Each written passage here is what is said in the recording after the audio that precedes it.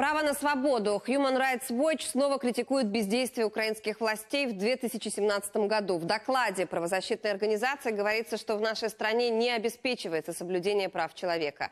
Речь идет в частности о востоке страны, где за весь период военных действий никого не привлекли, не привлекли к ответственности за пытки и незаконное содержание под стражей.